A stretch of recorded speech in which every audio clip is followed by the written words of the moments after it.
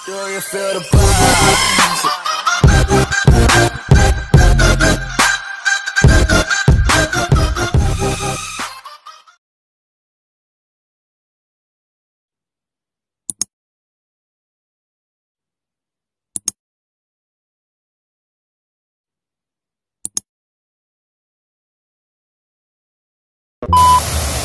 video kali ini aku akan memberikan sebuah video pada kalian Jika kalian yang belum subscribe tolong subscribe sekarang karena ini channel menuju 10.000 subscriber. Langsung aja nggak sapa-sapa sih. Kembali ke Ana Dan mengajak Reza untuk pulang. Dibilang kalau sudah tidak nafsu makan karena ada Elisa saat mau pergi. Ana malah nabrak pelayan. Pelayan itu minta maaf Namun Ana malah akan laporin ke bosnya biar dipecat. Namun Elisa malah bilang ke anak berapa bah, berapa harga baju seorang anak. Atmaja masa minta ke seorang pelayan.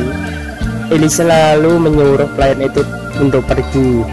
Melihat itu Reza marahi Elisa. Kalau ini urusan anak dan pelayan. Elisa disuruh diam saja. Bayu lalu membela Elisa. Dia menyalahkan Reza istrinya salah malah dibela Bahkan dia bilang kalau Risa dan istrinya apa sama, tidak punya otak dan pikiran, tak mau tambah PT.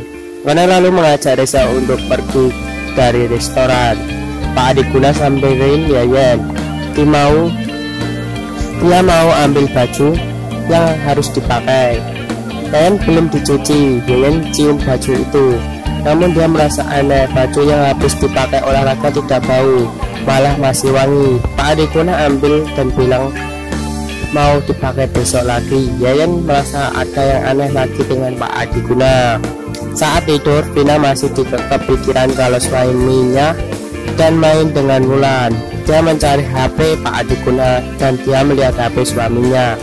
Dia berusaha ambil HP suaminya dan akan cek chatnya. Dan Wulan setelah dicek tidak ada cat mesra Pak Adiguna dengan Wulan yang ada malah cat pekerjaan. Di sisi lain Pak Adiguna melihat istrinya yang cek HP-nya dia merasa untung sudah hapus chat mesra dengan Wulan. Dia berpikir harus hati-hati lagi. Vina heran kenapa tidak ada chat mesra dengan Wulan dan foto berdua? Dia, dia jadi berpikir kalau cuma trauma saat suaminya terselingkuh dulu dia lalu akan berusaha percaya lagi dengan suaminya itu saja dari saya episode bawang putih berkulit merah. Jika videonya ini bagus tolong like and subscribe. Karena channel ini menuju 10.000 subscriber. Subscribe ya.